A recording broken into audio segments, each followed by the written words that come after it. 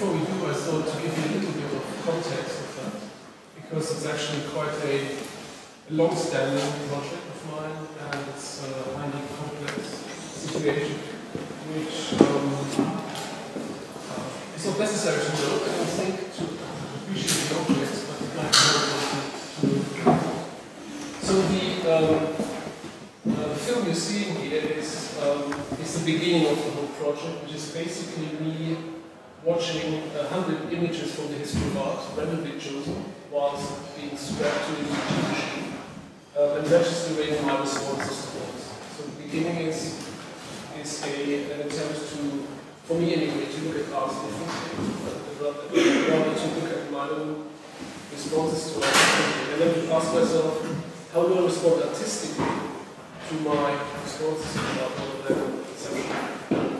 And one of the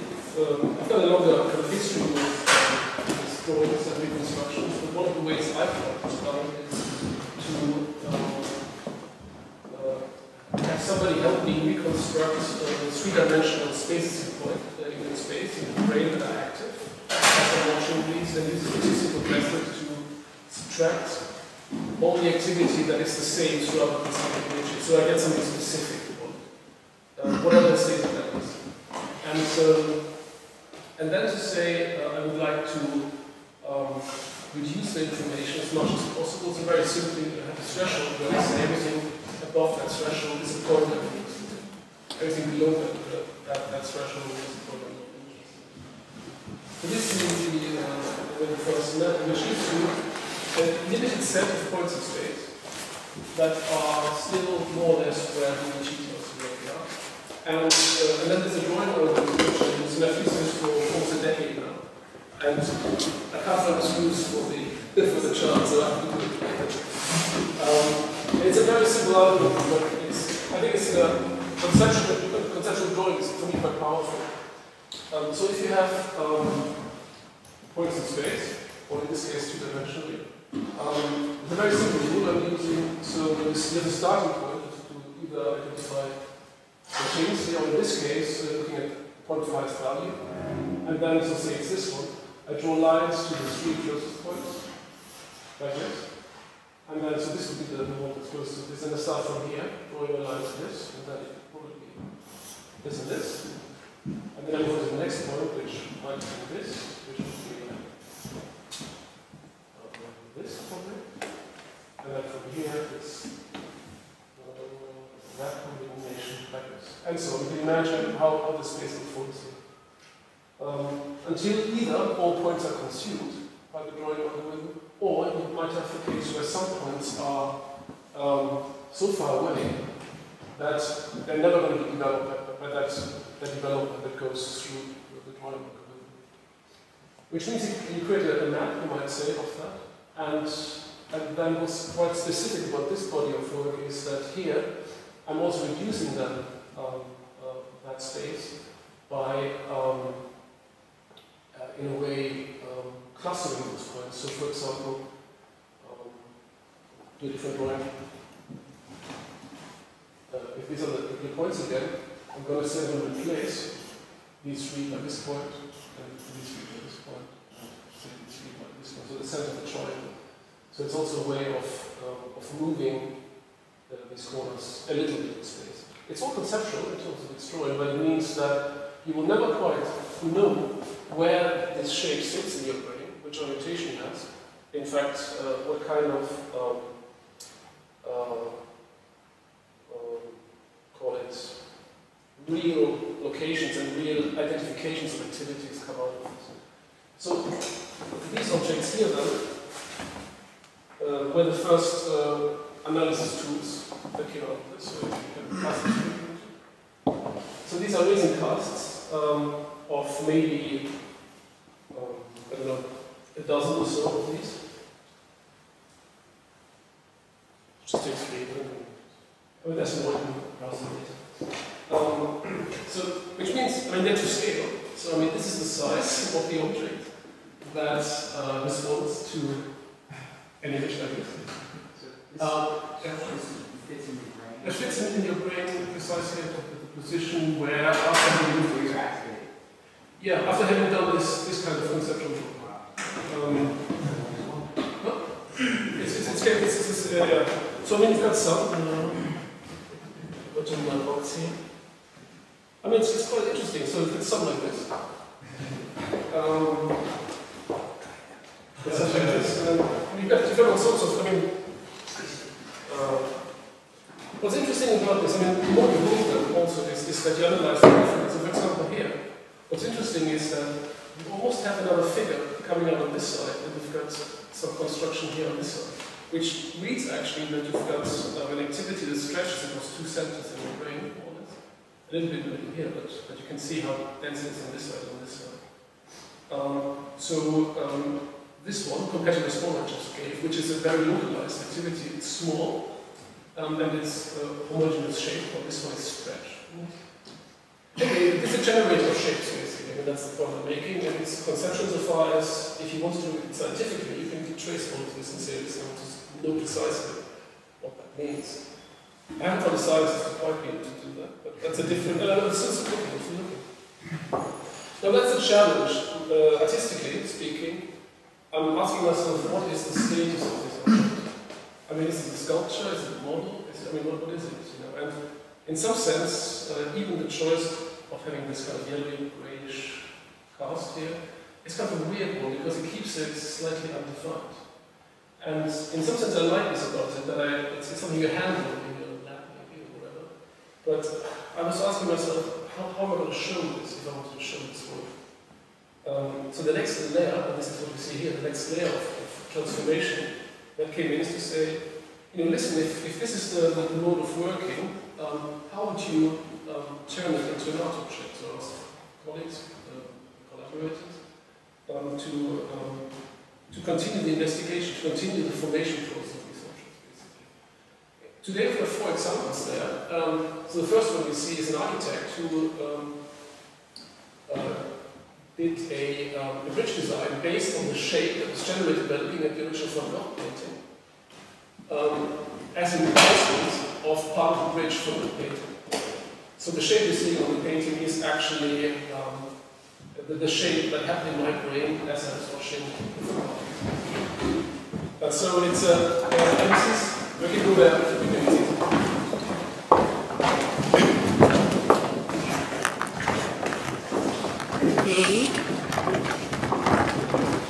So to this case, we actually used like the fabrication process so you can see So, um,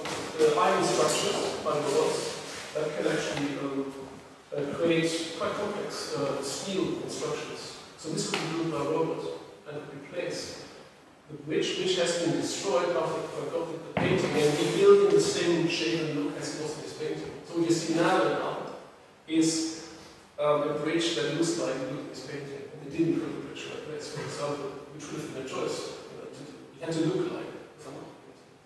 Anyway, this is Customers are keeping this back. So what should be in there is uh, a photograph of London Noir. Uh, so this is um, what was the language of things. Uh, it is um, a dictionary. If you go online to these things, you can actually see uh, the sound of the dictionary.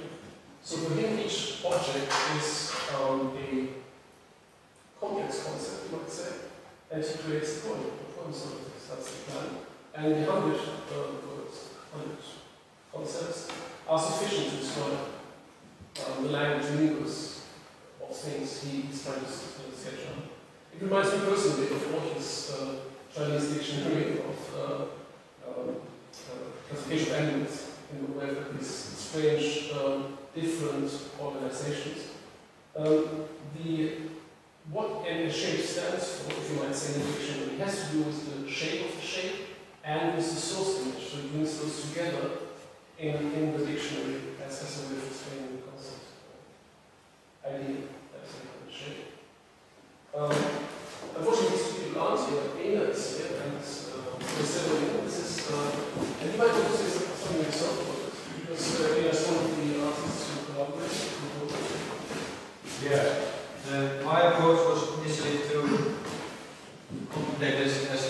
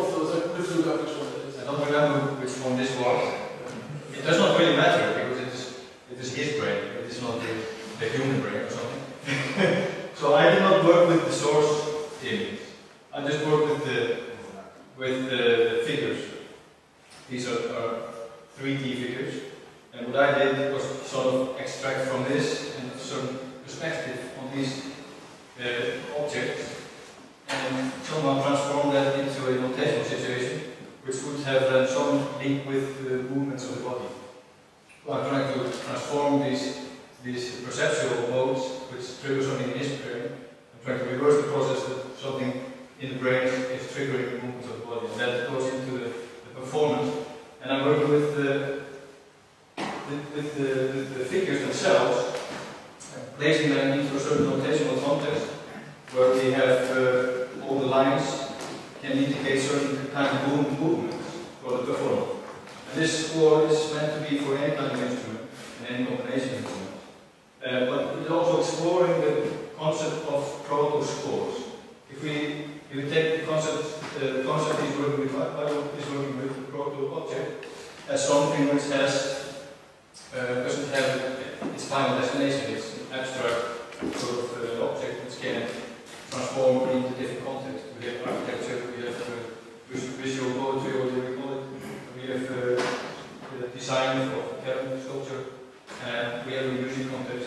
So I wanted to explore that idea on a microscopic level, just within the context of beauty.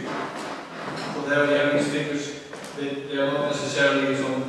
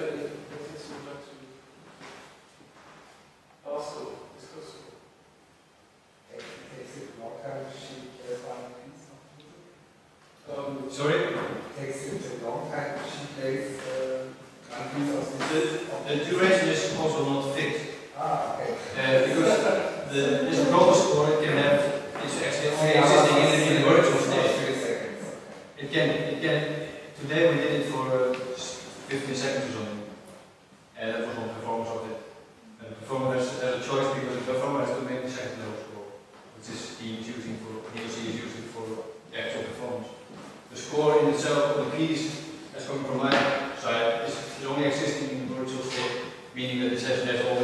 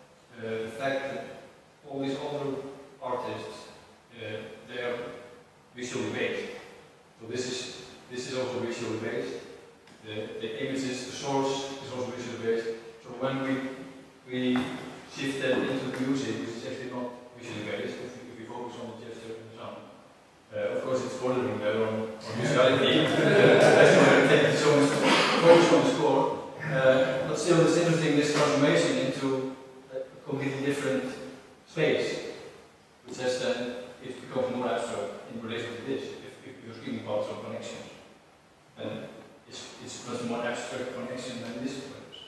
But just to ask a question, those four objects are all responding to the one? No, no, there are, there are hundred objects. There are responding to other objects, different Yeah, yeah.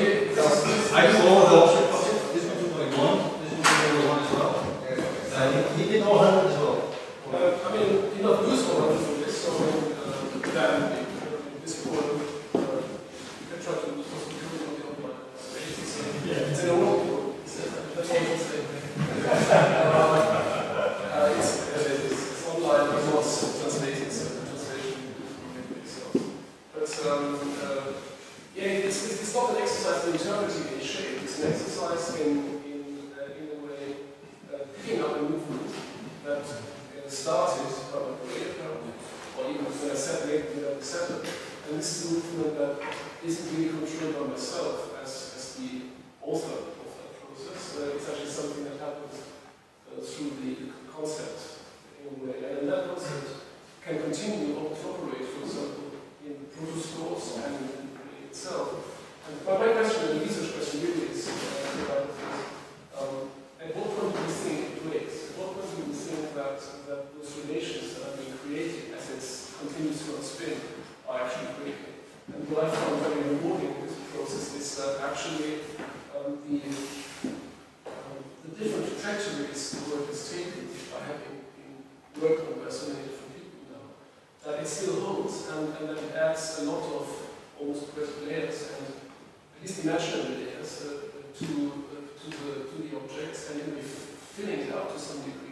which I didn't quite expect because they used to be more abstract.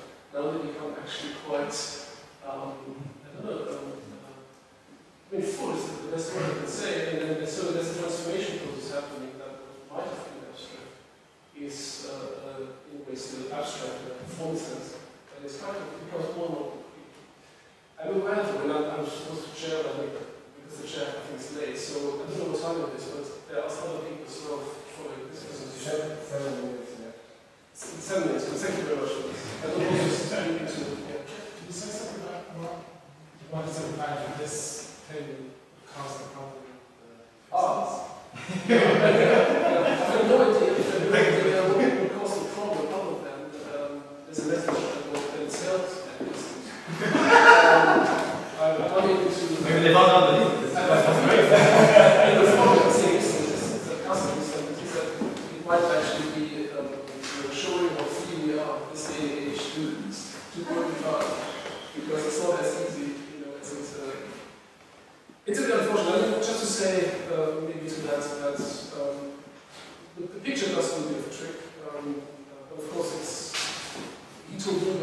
that's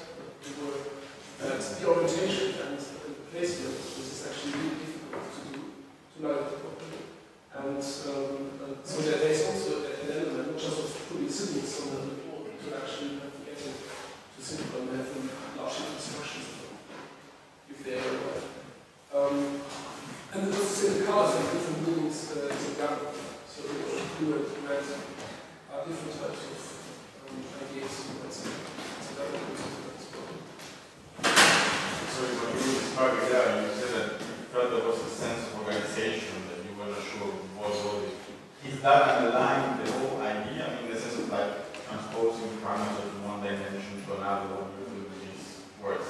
Is, this something or that you were expecting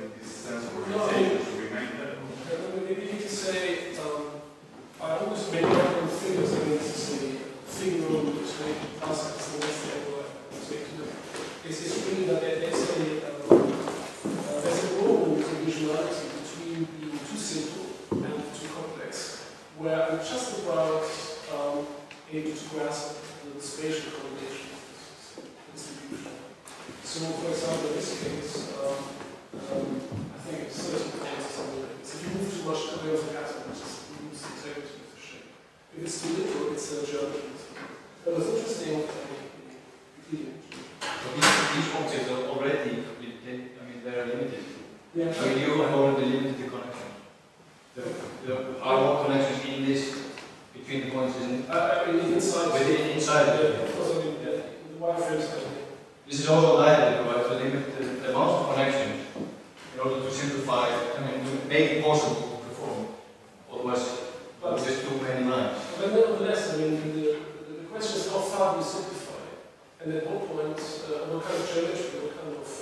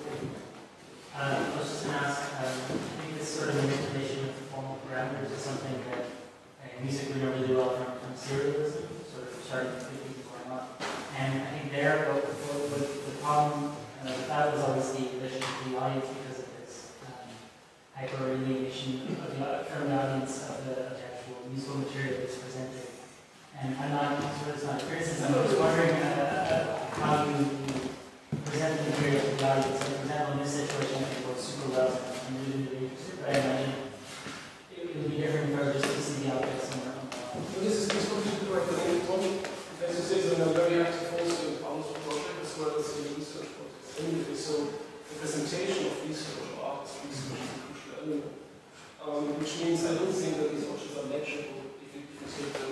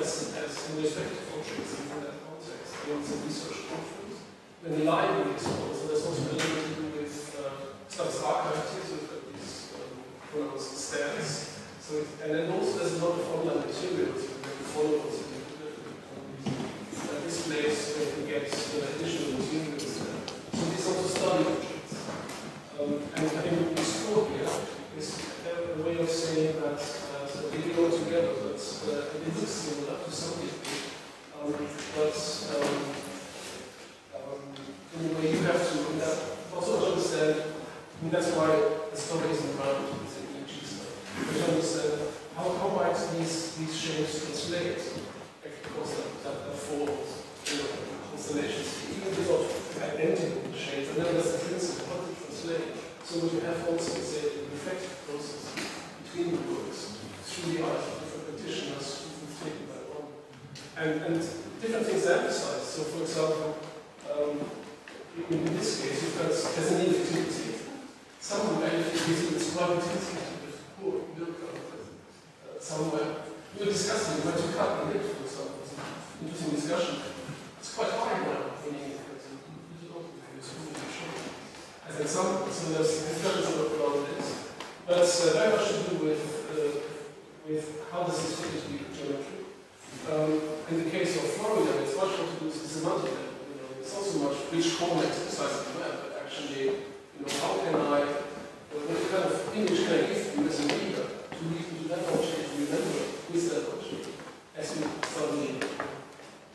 So, so it, it's on that level as well, in order to, to kind of not give the representation story, but to be effective.